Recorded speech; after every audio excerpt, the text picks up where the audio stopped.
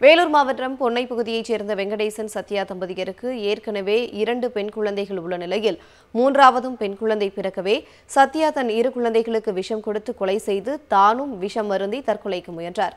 எனினும் சத்யா மட்டும் காப்பாற்றப்பட்டார்.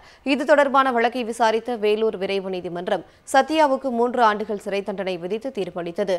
இந்த தீர்ப்பை எதிர்த்து சத்யா தரப்பில் சென்னை உயர்நீதிமன்றத்தில் மேல்முறையீடு செய்யப்பட்டது. இந்த வழக்கு விசாரணையின் போது சத்யாவுக்கு நான்காவதாக பெண் குழந்தை குழந்தை பிறந்தது.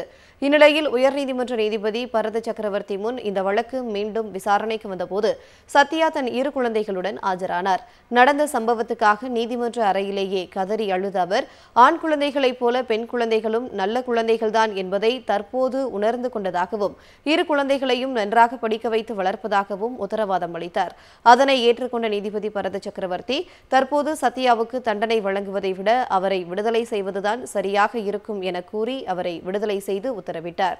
மேலும் குறைந்தபட்சம் பட்டப்படிப்பு வரையாவது இரு குழந்தைகளையும் படிக்க வைப்பதாக சத்யா உத்தரவாத பத்திரம் அளிக்க வேண்டும் எனவும் இரு ஆண்டுகளுக்கு ஒருமுறை விசாரணைக்கு நீதிமன்றத்தில் நேரில் ஆஜராகி குழந்தைகளை படிக்க வைத்து வருவதை உறுதி செய்ய வேண்டும் எனவும் நீதிபதி நிபந்தனை விதித்தார்.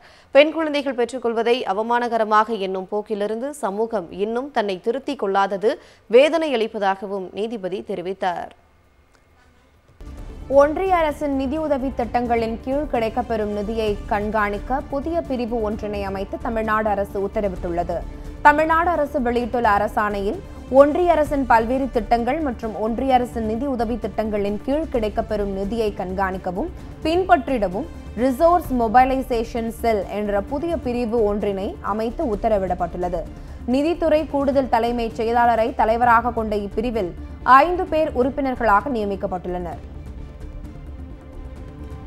சீமை கருவேல மரங்களை அகற்றுவது தொடர்பான தமிழ்நாடு அரசின் நடவடிக்கைகளுக்கு சென்னை உயர்நீதிமன்றம் பாராட்டு தெரிவித்துள்ளது. தமிழ்நாடு முழுவதும் உள்ள சீமை கருவேல மரங்களை அகற்ற வேண்டும் என தொடரப்பட்ட வழக்குகள் தலைமை நீதிபதி முனீஸ்வர்நாத் பண்டாரி தலைமையிலான அமர்வு முன்பு மீண்டும் விசாரணைக்கு வந்தது.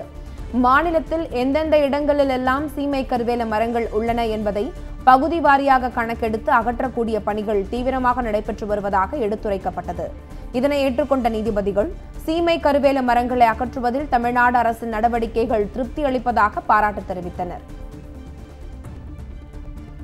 விழுப்புரம் அருகே மின்சாரம் தாக்கி பலியான மூன்று பேருக்கு தலா ஐ- இரண்டு லட்சம் ரூபாய் நிதி உதவியை தமிழ்நாடு அரசு அறிவித்துள்ளது.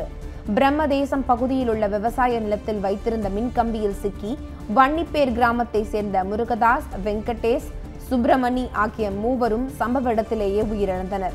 இந்த துயரமான செய்தியை கேட்டு மிகுந்த வேதனை அடைந்த முதலமைச்சர் மு ஸ்டாலின் உயிரிழந்த மூன்று பேரின் குடும்பத்தினருக்கு தலா இரண்டு லட்சம் ரூபாய் நிதி உதவி வழங்கப்படும் என அறிவித்தார். உயிரிழந்தவர்களின் குடும்பத்தினருக்கு ஆழ்ந்த இரங்கலையும் ஆறுதல்களையும் முதலமைச்சர் தெரிவித்துள்ளார். அதிமுக முன்னாள் அமைச்சர் தங்கமணி வீட்டில் கைப்பற்றப்பட்ட ஆவணங்கள் குறித்து விசாரணை நடத்தப்பட்டு வருவதாக லஞ்ச ஒழிப்புத்துறை அதிகாரிகள் தெரிவித்துள்ளனர். வருமானத்துக்கு அதிகமாக நான்கு கோடியே எண்பத்தைந்து லட்சம் ரூபாய்க்கு சொத்து சேர்த்ததாக எழுந்த புகாரின் அடிப்படையில் தங்கமணியின் வீடு மற்றும் அலுவலகத்தில் நடைபெற்ற லஞ்ச ஒழிப்பு சோதனையின் போது சிக்கிய ஆவணங்களை பொதுப்பணித்துறை மற்றும் வருவாய்த்துறை அதிகாரிகள் சரிபார்க்கும் பணியில் ஈடுபட்டுள்ளனர்.